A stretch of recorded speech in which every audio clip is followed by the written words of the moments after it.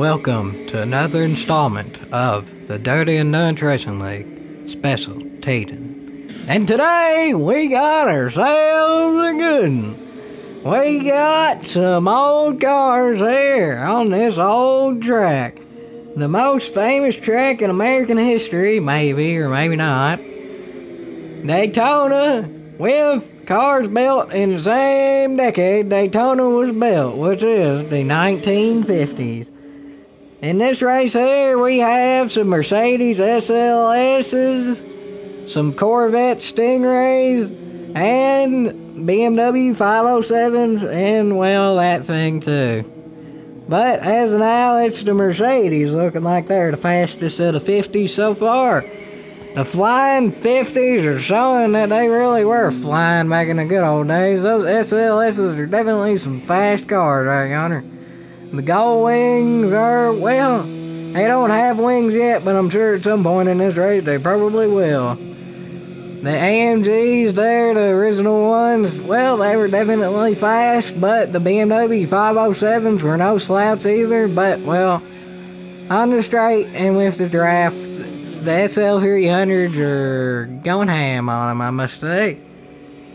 I don't know exactly if this was the AMGs or the tuners or whatever, but it nonetheless it's the original SL, and I think all in all it might very well be the best.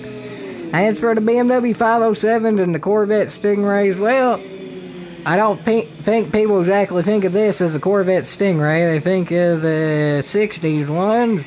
And well, BMW 507, and not really. I would have never heard of it, most likely, if it wasn't for this game. But anyway, back to the racing here, folks. We got ourselves, uh,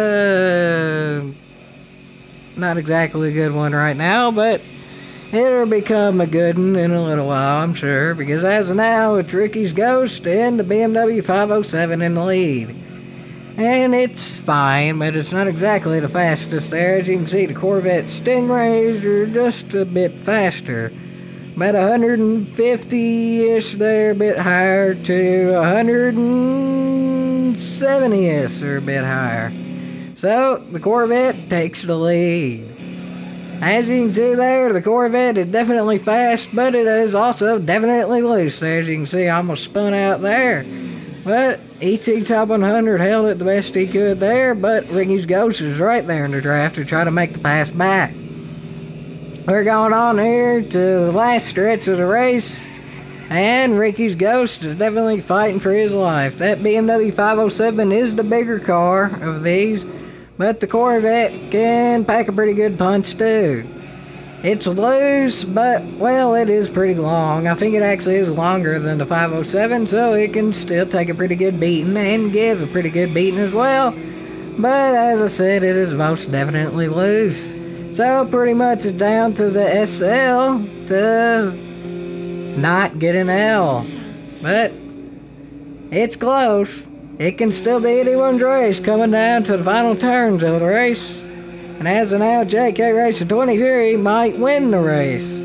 But everybody's close right yonder on his back bumper to see if they can make a move. Ricky's Ghost is in the draft, the top tier ranking. Let's see if he can take advantage. And.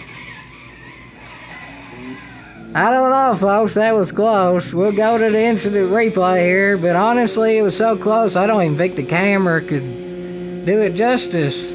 Because reasons even though it's proof. But anyway, as you can see here, Jake Harris, 20 years in the lead, battling car injury. Hits him there, slow him down, but Ricky's Ghost has momentum. Car injury spins him across the line, but apparently, according to JK Race 23, JK Race 23 gets the win. So that was definitely a competitive race, and JK Racing 23 gets the win, I think, maybe in the Dirty Nerds Racing League, the best dirty league out there.